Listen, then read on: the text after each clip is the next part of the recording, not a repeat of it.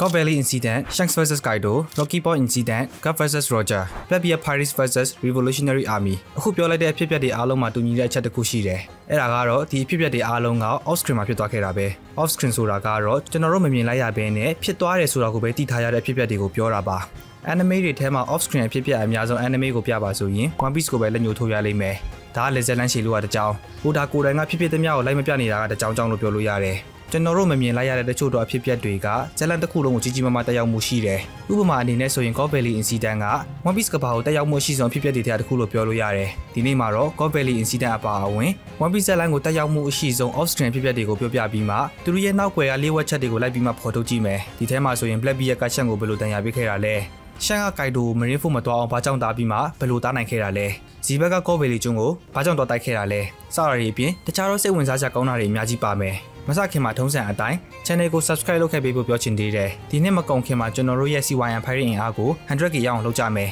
လုပ်လိုက်လို့ဗာပြန်ရမလဲဆိုရင်တော့အကောင့်တကအကောင့်ဆုံး One Piece content တွေကိုပြန်ပေးနေပါတယ်ဒီတော့ CYN Pirate အဖွဲ့တွေကိုဖိတ်ခေါ်ပါတယ်အကြောင်းအရာစီဆက်သွားမယ် ပထမဆုံးတစ်ခုကိုတော့ Rocky Port Incident နဲ့ပဲစလိုက်ရအောင် Rocky Port Incident ဆိုတာကတော့ Thanksgiving နှစ်အတွင်း Hachinosu ကျွန်းမှာဖြစ်ခဲ့တဲ့အဖြစ်အပျက်ဖြစ်ပြီးမှဒီဖြစ်ပျက်မှာဆိုရင် Black Bear Pirate, Law, Kobe နဲ့ Wang Ji တို့ပါတယ်။ Wang Ji ဆိုတာကတော့ Rocks Pirate အဖွဲ့ဝင်ဟောင်းတစ်ယောက်ပါ။တချို့တော့ translation တွေမှာကျတော့သူ့ကို Ochoku လို့လည်းခေါ်ကြတယ်။သူကဒီအဖြစ်အပျက်မတိုင်ခင်ဒီ Hachinosu ကိုအုပ်စိုးနေတဲ့လူဖြစ်တယ်။ ဒီအကြောင်းကိုလည်း Black Bear ပြပြလို့သိရတာပါ။ဒါအောင်မသိခင်တုန်းကသူ့ကိုတေးပြီးတော့အားလုံးကထင်ထားကြတာ။ချီကီကပတိန်ဂျွန်စတဲ့လူတွေနဲ့အဆင့်တန်းတစ်ခုထဲမှာရှိတယ်လို့ဆန်ကိုကူကပြောဖူးတာကြောင့်မို့ဒီဘဲကိုလုံးဝအထင်သေးလို့မရဘူး။မသိသေးတာတွေကိုမခံမှန်းခင်မှာတိထတာလေးတွေကိုယဉ်ကြည့်လိုက်ရအောင်။ပထမတစ်ချက်ကလောကဒီအဖြစ်ပြရဲ့အကျိုးကင်သူဆိုတာပဲဒါကိုလည်း brand new ကတေချာပြောထားတယ်။ဘာကြောင့်အခုလိုလုပ်ခဲ့လဲဆိုတာကိုအတိအကျမသိရပေမဲ့လောကဒီအဖြစ်ပြကနေပင်လယ်သမားအရောက်တရားရဲ့နှလုံးကိုခိုးပြီးမှရေတက်စီအပ်လိုက်လို့ရှီချီပူကိုက်ဖြစ်လာတယ်။ အဲပင်လယ်သမားအရောက်တရားဆိုတာကလည်းတခြားလူတွေတော့မဟုတ်ဘူး။ Black Bear Pirate အောက်ခြေသားအဖွဲ့ဝင်တွေပဲ။ဒုတိယတစ်ချက်ကကိုပီယာဒီအဖြစ်ပြမှာပါဝင်ခဲ့တဲ့အပြင်အဲကျွန်းမှာရှိတဲ့ပြည်သူတွေအများကြီးကိုကယ်ပေးနိုင်လို့ဆိုပြီးမှဟီးရိုးဆိုတဲ့နာမည်ကိုရခဲ့တယ်။လောကကျိုးကင်သူလို့ပြောထားပေမဲ့တကယ်တမ်းဒီအဖြစ်ပြကနေအကျိုးအမြတ်အများဆုံးရလိုက်တာက Black Bear ပဲ။။ ဘာကြောင့်ဆိုရင် Black Bear ကဟာချီနိုစုကျွန်းကိုလိုချင်နေခဲ့တာ။ဒါပေမဲ့အခုနပြောသလိုပဲအဲကျွန်းမှာဝမ်ဂျီရှိနေတော့လွယ်လွယ်နဲ့ဝင်တိုက်လို့မရခဲ့ဘူး။ကိုဘီရဲ့ကြီးစုကြောင့်ဒါဝမ်ဂျီကိုအနိုင်ယူနိုင်ခဲ့တာပါဆိုပြီးမှ Black Bear ကပြောဖူးတယ်။ Black Bear Pirate အင်အားတစ်ခုလုံးနဲ့ဝမ်ဂျီကိုဝင်မတိုက်နိုင်တာကတစ်ခုခုတော့တစ်ခုခုပဲ။ဘယ်လောက်တမားတဲ့လူပဲဖြစ်နေပါစေ။ Black Bear Pirate တစ်ခုလုံးဝင်တိုက်ရင်ရမယ်ဆိုတာကတန်တရားဝင်စရာမရှိဘူး။ဝမ်ဂျီတာတာမန်ထက်တာမာနေတယ်ဆိုရင်လေဒီနာမည်ကိုအရင်ကတည်းကကြားဖူးခဲ့မှာပဲ။အဲ့တော့သူ့စီမှာဒီကျွန်းကိုခုခံဖို့အားတာချက်တစ်ခုခုရှိနေလိမ့်မယ်။ အဲအားတာချက်က Evaro Pizarro စားထားတဲ့ Island Island Fruit တောင်ဖြစ်နေနိုင်သေးတယ်။ဒီဖြစ်ပျက်က One Piece ဇက်လန်ကိုဘယ်လိုတက်ရောက်ခဲ့လဲဆိုရင်တော့ပထမတစ်ချက်ကလောအနေနဲ့ချီချီပူကိုက်ဖြစ်သွားတယ်။အဲအကြောင်းဖန်ခါဆက်မှလာနေနိုင်ပြီးမှလူဖီရိုနဲ့တွေ့ခွင့်ရခဲ့တယ်လို့ပြောလို့ရတယ်။နောက်တစ်ခုကကိုဘီအနေနဲ့ Hero ဆိုတဲ့နာမည်ကိုရပြီးမှလူကြည့်များလာတယ်။နောက်ဆုံးအနေနဲ့ကတော့ Black Bear ကတူလိုချင်နေတဲ့ Hachinosu ကျွန်းကိုသူ့ရဲ့အခြေချစခန်းအဖြစ်ပြောင်းလဲနိုင်လိုက်တယ်။ Hachinosu ဆိုတာ Rock Sprite တွေနေခဲ့တဲ့ကျွန်းဖြစ်တဲ့အပြင် Black Bear ရဲ့ဒီကျွန်းကိုလိုချင်နေခဲ့တာကအကြောင်းတစ်ခုခုကတော့တေချာပေါက်ရှိလိမ့်မယ်။ ဒီကျွန်းက Straw Hat Pirate vs Black Bear Pirate တွေရင်ဆိုင်ကြမဲ့စစ်မြေပြင်တော့ဖြစ်လာနိုင်ပါသေးတယ်။ဒီအဖြစ်ပြက်ရဲ့အသေးစိတ်ကိုတော့ဆက်ပြီးမှသိရဖို့ရှိတယ်။နောက် off screen ဖြစ်ပြတစ်ခုကတော့ Shanks vs Black Bear ပါ။ဒီအဖြစ်ပြအကြောင်းကိုတော့ Shanks က White Bear ကိုပြပြလို့သိခဲ့ရတယ်။ဘယ်ချိန်လုံးကဖြစ်ခဲ့လဲဆိုတာကိုတော့အတိအကျမသိရသေးဘူး။ဒါပေမဲ့အကြမ်းဖျင်းလေးခံမှန်းလို့ရတယ်။ Chance ကိုတန်ရာမှာပါဘဲနဲ့နောက်ဆုံးတွေ့ခဲ့ရတာက Roger မတေခင်တော့ငါပါ။အတိအကျဆိုရင်တော့ဦးတန်ကိုနှုတ်ဆက်တုံးကပေါ့။အဲတော့က Chance ရဲ့အသက်ကဆက်လေးနေပဲရှိသေးတယ်။အဲနောက်မှာ Chance ကိုဆက်ပြီးမှတွေ့ရတယ်ဆိုပေမဲ့သူ့ရဲ့မျက်လုံးကိုလုံးဝမပြတော့ဘူး။သူ့ကိုဒီတန်ရာနဲ့အစောဆုံးတွေ့ရတာကတော့ Luffy နဲ့မတွေ့ခင်ကိုမူကိုမူနိုမီကိုဝင်လူတဲ့အချိန်တုန်းကပဲ။အဲတော့ကသူ့ရဲ့အတက်က26နှစ်ရှိနေပြီဒီတော့ Chance vs Black Bear ကဒီ12နှစ်အတော်အတွင်းလေးမှာဖြစ်သွားတယ်ဆိုတာသိချတယ်တခြားအထောက်ထားတွေကမရှိတော့အတိအကျကဘယ်လို့မှခံမှန်းလို့မရဘူးသိချတာကဒီတိုက်ပွဲဖြစ်သွားတော့က Chance ကယုံကိုမဖြစ်သေးတယ်လို့ Black Bear ကလည်း White Bear Pirate ထဲမှာပဲရှိနေသေးတယ်ဒီအဖြစ်အပျက်ကိုဖြစ်စေခဲ့တဲ့အကြောင်းရင်းကတော့စိတ်ဝင်စားစရာပဲဘာကြောင့်ဆိုရင်အဲတုန်းက Chance က White Bear Pirate ကိုရှင်နိုင်တဲ့အနေအထားမှာမရှိသေးတယ်လို့ White Bear ဆိုတာကလည်းလူလွတ်ပြီးမှတခြားလူတွေကိုလိုက်ပြီးမှတိုက်ခိုက်ခိုင်းတဲ့လူမျိုးမဟုတ်ဘူးဒီမှာ White Bear ငါဘွားတစ်လျှောက်လုံးမှာတိုက်ပွဲပေါင်းများစွာကိုတိုက်ခဲ့ဖူးတယ်ဒဏ်ရာပေါင်းများစွာကိုလည်းရဖူးတယ်။ဒါပေမဲ့အခုချိန်ဒီငါ့ကိုစိတ်အနှောက်အယှက်ပေးနေတဲ့တခုတည်းသောဒဏ်ရာကဒါပဲ။ဆိုပြီးမှပြောရလောက်အောင် Black Bear အနေနဲ့ဒီဒဏ်ရာကိုဘယ်လိုပေးနိုင်ခဲ့တာလဲ။အဖေကတော့ရှင်းပါတယ်။ Black Bear ကအစကတည်းကနေတတ်မှပြီးသားလူပါ။အဲအကြောင်းကိုလည်း Chance ကိုယ်တိုင်က White Bear ကိုပြောပြခဲ့တယ်။ White Bear Pirate မှာရှိနေတုန်းက Black Bear ကမတတ်မှချီအောင်ဆောင်နေတာပါ။ Second Division Commander နေရာကို East မတိုင်ခင်မှာကန်လန်းခံရတာကိုကြည့်လိုက်ရင် Black Bear ကပါဒီ Vefrima မစားခင်ကတည်းက Yonko Commander ဖြစ်ဖို့ထိုက်တန်နေတာကိုတွေ့ရတယ်။ ဒီအဖြစ်ပြက်ကဇက်လန်အတွက်အရေးကြီးတယ်လို့ဘာကြောင့်ပြောရလဲဆိုရင်တော့ Black Bear ကတာမန် side character မဟုတ်ဘူးဆိုတာပြခဲ့ပေးတယ်လို့တစ်ချိန်မှာဖြစ်လာမယ်လို့ယူဆလို့ရတဲ့ Red Hair vs Black Bear ဇက်လန်အတွက်အဖွင့်ကောင်းတစ်ခုဖြစ်နေတယ်။ဒါအပြင်ဒဏ်ရာတွေက character တစ်ခုရဲ့စိတ်ပိုင်းတစ်ခုဖြစ်နေတဲ့ One Piece လိုဇက်လန်မှာ Shanks ရဲ့တစ်ခုတည်သောဒဏ်ရာကိုရရှိခဲ့တဲ့အဖြစ်ပြက်လည်းဖြစ်နေသေးတယ်။ဒီအဖြစ်အပျက်ကိုတော့နောက်ပိုင်းကျရင်ပြန်ပြမယ်လို့မျှော်လင့်ပါတယ် Shanks နဲ့ Black Bear မှာတူတဲ့အချက်တစ်ခုရှိတယ်ဒါတော့နှစ်ယောက်လုံးကဇာလန်ထဲမှာအများကြီးမပါဘူးဆိုပေမဲ့ဘာမှမလုပ်နေကြတာမဟုတ်ဘူး။အိုဒါကဒီနှစ်ယောက်ရဲ့လှုပ်ရှားမှုတွေကိုစကားအနေနဲ့ပဲပြောခဲ့တာများတော့ off screen အဖြစ်အပျက်အများစုမှာလည်းဒီနှစ်ယောက်ထဲကတယောက်ကအမြဲတမ်းပါတတ်တယ်။ဒီတော့ဒီနှစ်ယောက်ပါတဲ့ off screen ဖြစ်ပျက်တွေကိုလိုက်ကြည့်လိုက်ရအောင်ပထမတစ်ခုကတော့ Shanks က Kaido ကို Marineford မတော်အောင်တားခဲ့တဲ့ဖြစ်ပျက်ပဲ ဒီအဖြစ်ပြအကြောင်းကိုစကားလေးတစ်ခုနဲ့ပဲတီးခဲ့ရတာဆိုတော့ဒါကိုဖြစ်လို့ဖြစ်သွားမှန်းတော့မသိတဲ့လူတွေရှိနေသေးတယ် YBF Pirate vs Marine လို့ပြောလို့ရတဲ့ Marine Force ဝါကြီးကို Black Bear Pirate Red Hair Pirates တို့အပြင် Kaido ကလည်းပါဝင်ဆင်နွှဲချင်ခဲ့တယ် Kaido အနေနဲ့ဘာအကြောင်းကြောင့် Marine Force ကိုလာချင်တာလဲဆိုတာကတော့ခုချိန်ထိမသိရသေးပါဘူးဖြစ်နိုင်ချေအများကြီးတရားတစ်ခုကတော့ Kaido က East ကို Joy Boy လို့ထင်နေတာပဲ အဲ့ရနဲ့ပဲဘာကြောင့် Marine Force ကိုသွားချင်တာလဲဆိုရင်တော့ Kaido က Joy Boy ကိုတွေ့ချင်လို့ပါလက်ရှိ anime ongoing ကိုကြည့်နေတဲ့လူတွေဆိုရင် Kaido က Joy Boy နဲ့ပတ်သက်လာရင်ဘယ်လောက်တောင်စိတ်ဝင်စားလဲဆိုတော့ကိုသိလိမ့်မယ်အစပိုင်းကသူ့ကိုယ်သူ Joy Boy ဖြစ်လာမယ်ဆိုပြီးမှထင်ခဲ့ပြီးမှသူကိုယ်တိုင်မဖြစ်နိုင်မှန်းသိသွားတော့လေ Joy Boy ဖြစ်လာမဲ့လူကိုဝါနိုမာလာစောင့်နေခဲ့တယ်နောက်ပြီးလူဖီကိုရှုံးတော့လေကင်းရေ Joy Boy ဘယ်သူလဲဆိုတော့ကိုငါသိပြီဆိုပြီးမှပြောသွားသေးတယ် theory အရဆိုရင်တော့ Kaido က Ace ကို Joy Boy လို့ထင်နေတာပါတကယ်လည်းအဲ့လိုထင်နေရင်တော့မှမထူးဆန်းဘူးဘာကြောင့်ဆိုရင် Pirate King Roger ရဲ့တာဖြစ်သူ Ace ကိုနောက် Pirate King ဖြစ်လာမဲ့လူဆိုပြီးမှ Sangoku အပါအဝင်လူအများကယုံခဲ့သေးတာပဲအဲ့တော့ Joy Boy ကိုသူနဲ့မတွေ့ခင်မှာမသေးစေချင်လို့ Kaido ကလာခဲ့တယ်ပေါ့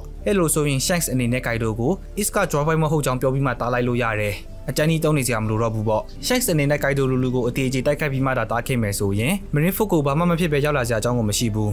ဒါမှမဟုတ်ရင်လည်းသူ့ရဲ့ border ဟောင်းဖြစ်တဲ့ white beard ကိုလာတွေ့ရလည်းဖြစ်နိုင်တာပဲအဲ့ဒါအပြင် Shanks မှာအမွာညီကိုတယောက်ရှိနေပြီးမှ Kaido ကိုတားခဲ့တာက Shanks မဟုတ်ပဲနဲ့ Shanks ရဲ့အမွာပါဆိုပြီးမှလည်းပြောကြသေးတယ်ဘယ်လိုပဲတားခဲ့တားခဲ့ဒီအဖြစ်ပြကြောင့်ပဲ Marine Force ကကဘာပျက်စီးမဲ့စစ်ပွဲမဖြစ်လာလို့ပဲပြောရလိမ့်မယ် ရေတက်ရင်အကုန်လုံး White Beard Pirate, Black Beard Pirate, Red Hair Pirate, Beast Pirate ဒီလူတွေအားလုံးတာတနေရာထဲမှာအကုန်တုံးပြီးမှတိုက်ခိုက်ကြမယ်ဆိုရင်တေချာတယ်အဲ့ဒါ One Piece အတွက်ဆက်တိမ်ပဲအဲ့ဒါကြောင့်လည်းအခုလိုမဖြစ်အောင်တားပေးခဲ့တဲ့အဖြစ်ပြက်ကိုအရေးအကြီးဆုံး off screen အဖြစ်ပြက်တွေထဲကတစ်ခုလို့ပြောရင်မမှားဘူး Shanks ရဲ့နောက်ထပ် off screen အဖြစ်ပြက်တစ်ခုကတော့ Red Hair vs Kid နောက်တနည်းနဲ့ခေါ်ရမယ်ဆိုရင်ကစ်လက်ဆုံးရှုံးထားတဲ့အဖြစ်ပြက်ရှိအောင်ပဲဒါပေမဲ့အခုချိန်ထိတည်ထားရတဲ့လောက်ဆိုရင်ဒီအဖြစ်ပြက်ကဇက်လန်ကိုအများကြီးတက်ရောက်မှုမရှိဘူးကိကာသူ့ရဲ့လက်ကိုဆုံးရှုံးလိုက်ရတယ်ဆိုပေမဲ့တန်အနေနဲ့စာထုတ်ခဲ့တာကြောင့်မို့တခါတလေဆိုရင်သူ့ရဲ့လက်ကပြက်လို့ပြက်နေမှတော့တတိမထားမိဘူးတကယ်လို့ဒီအဖြစ်ပြက်မှာတော့တခြားထူးခြားတာတွေမပါဘူးဆိုရင်ဇက်လန်ကိုတက်ရောက်မှုမရှိဘူးလို့တော့ပြောချင်သေးတယ်ဒီနေရာမှာတော့ Black Bear ကရှက်နေမတူတော့ဘူး ဘာကြောင့်ဆိုရင် Black Bear ကပါလာတိုင်းဇက်လန်ကိုတက်ရောက်မှုရှိတယ်အဲ့လိုတက်ရောက်မှုရှိတဲ့ off screen ဖြစ်ပျက်တွေထဲကတစ်ခုကတော့ Black Bear Pirate vs လက်ကျန် White Bear Pirate တွေပဲ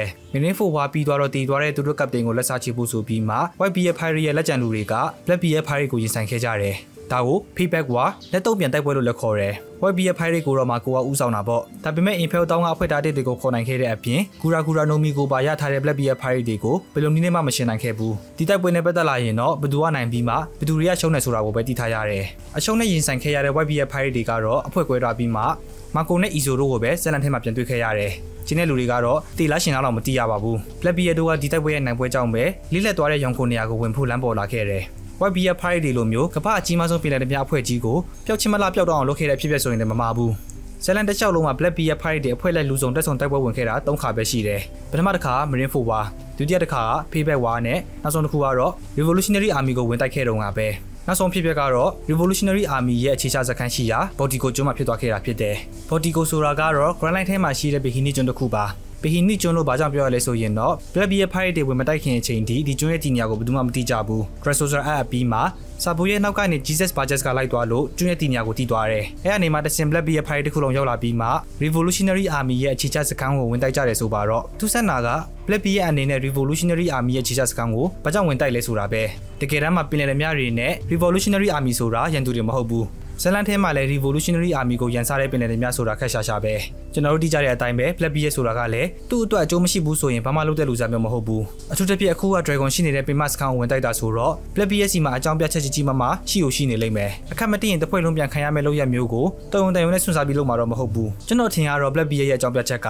Diverfruit တွေဖြစ်နေလိမ့်မယ်အတိအကျဆိုရင်တော့ Dragon ရဲ့ Diverfruit ပေါ့ Dragon က Diverfruit user ပါဆိုပြီးမှအတိမပြုထားပေမဲ့ဒီနဲ့ပတ်သက်တဲ့ Diverfruit အစွမ်းရှိနေတယ်ဆိုတာကတိကျတော့ပဲ အဲ့တော့အကောင့်တကအကောင့်ဆုံး Diva Fruit တွေကိုလိုက်ရှာနေတဲ့ Black Bear Pirate တွေက Dragon ရဲ့ Diva Fruit ကိုယူဖို့ဝင်တိုက်တာဖြစ်လိမ့်မယ်။ Dragon ရဲ့ Diva Fruit တင်မကပါဘူး။ Sabo Ivankov တို့ရဲ့ Diva Fruit တွေကလည်းတော်တော်ကြီး over power ဖြစ်ကြတာပဲ။ဒီတိုက်ပွဲရဲ့ရလဒ်အနေနဲ့ Body ကိုကျွန်းတစ်ခုလုံးကหนีလို့မရအောင်ဖျက်ဆီးခံလိုက်ရတယ်။သတင်းစာရဲ့အဆိုအရဆိုရင်တိုက်ပွဲအပြီးမှရေတပ်တွေရောက်လာလို့ Black Bear Pirate တွေကနောက်ဆုတ်သွားကြတယ်။ကျွန်းရဲ့တည်နေရာကိုတကဘာလုံးကတည်သွားတော့ Revolutionary Army ကသူတို့ရဲ့ပေမစခန်းကိုပြောင်းရွှေ့လိုက်ရတယ်။အဲပေမစခန်းအတေကတော့အားလုံးသိကြတဲ့အတိုင်းကမ္ဘာဘက်ကကျွန်းမှာပါ။ Black Bear Pirate တွေကဆုံးရှုံးမှုကြီးကြီးမားမားမရှိလိုက်တဲ့အတွက်ဒီတိုက်ပွဲရဲ့အနိုင်ရသူတွေလို့ပြောရမှာပဲ Thanksgiving အတွင်းမှာဖြစ်ပျက်သွားတဲ့အကြီးမားဆုံးဖြစ်ပျက်ကိုပြောပါဆိုရင်တော့ Emerald နှစ်ယောက်ဖြစ်တဲ့ကူဇန်နဲ့အကာအီနူတို့ရင်ဆိုင်ကြတာကိုပဲပြရလိမ့်မယ်။ Marineford ဝါအပီမှာ Fleet Emerald Sengoku ကသူ့ရဲ့ယာထူးကနေနှုတ်ထွက်လိုက်တဲ့အတွက်လစ်လက်သွားတဲ့ယာထူးကို Emerald ၃ယောက်ထဲကတယောက်ကအစားထိုးဝင်ရမှာဖြစ်တယ်။ကီဇာရူကတော့သူ့ရဲ့ပင်ကိုစိတ်ကိုကမူးဆောင်ပဲနဲ့သူများနောက်ကိုလိုက်ချင်တာဆိုတော့စက်ရင်ထဲထိသွက်စရာမလိုဘူး။ဆန်ကိုကူကသူ့ရဲ့နေရာမှာအော်ကီဂျီကိုစက္ကန်စေချင်လို့အထက်လူကြီးတွေကိုအကြံပေးတယ်။အထက်ကလူတွေကတော့လက်ရဲစက်ရဲရှိတဲ့အကာအီနူကိုပို့ပြီးမှတဘောကြကြတယ်။ဖြစ်ချင်တော့အကာအီနူကအော်ကီဂျီရဲ့လောက်မှအလုံးမလုပ်ချင်ဘူး။ အော်ကီဂျီကလည်းထုံးနေ၎င်းပဲအဲလူနဲ့နှစ်ယောက်သာနယူးဝါထဲကဘက်ကဖန်ရဲ့စန်တက်ကန်ဟောင်းရှိရနေရဖန်ကားဆက်မှာရင်ဆိုင်ကြတော့တာပဲသူတို့နှစ်ယောက်ရဲ့တိုက်ပွဲကဆယ်ရက်တိတိကြာခဲ့ပြီးမှအကာအီနူကနိုင်သွားတယ်။ဆယ်ရက်ကြာတဲ့တိုက်ပွဲကိုအဆအဆုံးမပြရင်တော့မှနောက်ဆုံးအဆုံးဖြတ်ပေးသွားတဲ့အခိုက်အတန့်လေးတွေကိုတော့မြင်ချင်သေးတယ်။ ဒီတိုက်ပွဲရဲ့ရလဒ်အနေနဲ့အကာအီနူကဖလီအမရဖြစ်သွားတယ်။အော်ကီဂျီရဲ့ရီတက်တဲ့နဲ့ဆွတ်သွားပြီးမှအခုဆိုရင် Black Bear ဖိုင်ရဲ့ဖွဲ့ဝင်ဖြစ်နေပြီ။အော်ကီဂျီဆိုတာရီတက်ထဲမှာအတာမဆုံးလူတွေထဲကတယောက်ပါ။အဲ့လိုလူကအဖွဲ့အစည်းထဲကနေဆွတ်သွားတဲ့အပြင်တစ်ဖက်ရန်သူဘက်ကိုပါဝင်သွားတယ်ဆိုတာရီတက်အတွက်ထုံးနှက်ချက်ကြီးတစ်ခုပဲ။ရေတက်ရဲ့ကောင်းဆောင်ကိုအဆုံးဖြတ်ပေးတဲ့ဖြစ်ပျက်ဖြစ်ခဲ့တဲ့အပြင် Black Bear ဖိုင်ရဲ့အနာဂတ်ကိုပါတက်ရောက်ခဲ့တဲ့ဖြစ်ပျက်ဖြစ်လို့အရေးကြီးတဲ့ဆိုတာကညင်းလို့မရဘူး။ Thanksgiving မှာဖြစ်သွားတဲ့နောက်ထပ်စိတ်ဝင်စားစရာဖြစ်ပျက်ကတော့ဇိုရိုရဲ့မျက်လုံးကိစ္စပဲ။ဒီကိစ္စနဲ့ပတ်သက်ပြီးမှတကယ်ကိုဘာဆိုဘာမှမသိရသေးတာပါဇိုရိုကိုတိုင်ကလည်းဘာမှမပြောဘူးတလို့တခြားဆိုရက်တွေကလည်းမြင့်မြတ်လုံးကဘာဖြစ်သွားတယ်လဲဆိုတာမျိုးတော့မမေးဘူးဘူးအဲ့တော့ဖြစ်နိုင်ချေကနှစ်ခုရှိတယ်။ဦးဒါကဇိုရိုရဲ့ကာရီတာဒီဇိုင်းကိုပြောင်းချင်လို့အမာရွတ်ကိုထည့်လိုက်တာဖြစ်ပြီးမှဇလန်တို့ဘာမှတရားမှုမရှိဘူးဆိုတာနဲ့နောက်တစ်ခုကလူတိုင်းဖြစ်စေချင်နေကြတဲ့ဒီအမာရွတ်ရဲ့နောက်ွယ်မှာအဖြစ်အပျက်တစ်ခုခုရှိနေတယ်ဆိုတာပဲ။ ဒါပေမဲ့ theory တချို့ထရလိုမျိုးဒီမျက်လုံးရဲ့နောက်ွယ်မှာဇိုရိုဖွက်ထားတဲ့အစမ်းနဲ့ရှိနေတယ်ဆိုတာကမဖြစ်နိုင်ဘူး။အကယ်၍အဲ့လိုတာဖြစ်နေမယ်ဆိုရင်ဇိုရိုကတေချာပေါက်ရဲ့အစွမ်းကိုဝါနိုမှာတုံးခဲ့မှာပဲ။ဘာကြောင့်ဆိုရင်ဝါနိုမှာသူတေခန်ကြီးဖြစ်ခဲ့တာတစ်ချိန်တည်းမဟုတ်ဘူးလေ။ကျွန်တော်ကတော့မီဟောင်းတဲ့ training ကနေရလာတဲ့တာမန်တန်ရာလို့ပဲထင်တယ်။ဒါပေမဲ့တစ်ဖက်မှာလည်းအမာရွတ်တွေကိုအသိပဲရှိမှပေးတတ်တဲ့ဦးဒါကလည်းရှိနေတယ်။ဘာကြောင့်မဖြစ်ဖြစ်ပါဒီအဖြစ်အပျက်ကဇိုရိုနဲ့ပတ်သက်လာရင်လူတွေအမြင်ချင်းဆုံးအဖြစ်အပျက်ဖြစ်နေတာကိုတော့လက်ခံရလိမ့်မယ်။ One Piece ဇက်လန်ကိုတက်ရောက်မှုအရှိဆုံး off screen အဖြစ်အပျက်ကိုပြောပါဆိုရင် God Valley incident ကိုပဲပြရလိမ့်မယ်။ ပြီးခဲ့တဲ့ manga chapter တွေအကြောင်းမို့ဒီဖြစ်ပျက်ကြောင်းကိုစတင်နေရပြီး Rox Pirate, Roger Pirates, Gap, Figalan Garling, Kuma, Ivankov စတဲ့လူတွေအကြောင်းပါတဲ့ God Valley incident အကြောင်းကိုဆက်မသွားခင်မှာလက်ရှိမှာအရင်အရေးကြီးရလို့မထင်ရပေမဲ့အရေးကြီးလာနိုင်တဲ့အဖြစ်ပျက်တွေစီကိုတွားလိုက်မယ်ပထမတစ်ခုကမာကီနိုရဲ့ကလေးကိစ္စပဲလူဖီရဲ့ပေါင်တီအစ်ထွက်လာပြီးမှလူရဲ့ reaction ကိုလိုက်ပြတဲ့ဇက်ဝင်ခန်းနေတဲ့တစ်ခုမှာ မာကီနိုလာသားရွယ်ကလေးတယောက်နဲ့တွေ့ခဲ့ရတယ်။တိကျတဲ့အတိုင်းထိုင်းစကစ်မတိုင်ခင်တုန်းကမာကီနိုကကိုဝင်အောင်ရှိသေးတာမဟုတ်ဘူး။အဲ့တော့လာသားရွယ်ကလေးကို referee အရောက်မှမွေးထားဖို့ဆိုရင်